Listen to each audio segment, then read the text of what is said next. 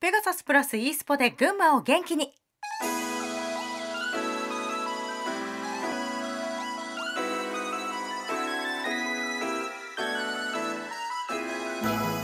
この番組は糸井商事の提供でお送りします。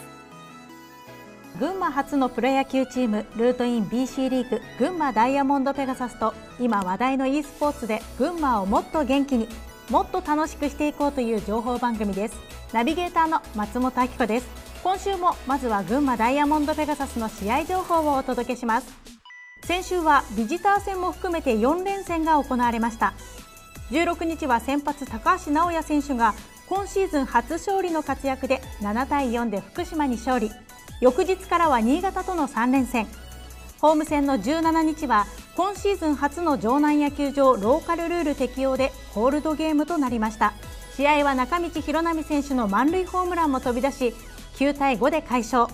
ビジター2連戦の初日18日は新潟に2対15で7回得点差コールドゲームを期すもののやられたらやり返すとばかりに翌日19日は15対3で勝利。連戦を3勝1敗で終え北地区1位信濃とのゲーム差を6月19日終了現在2.5ゲーム差としています。ウィークリーピックアップ。ウィークリーピックアップ。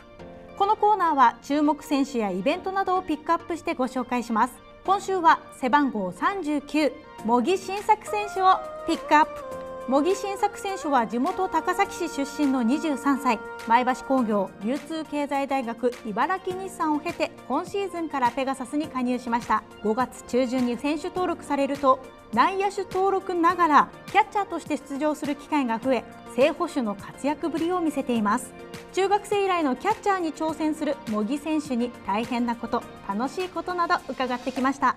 ピッチャーと息合わせてでバッターを抑えることがやっぱりこう楽しいですしやっぱりこうその反面こう合わないとこうバッターに打たれるでこう流れがこう相手チームに行くっていうのがまた難しいなって、はい、思いました。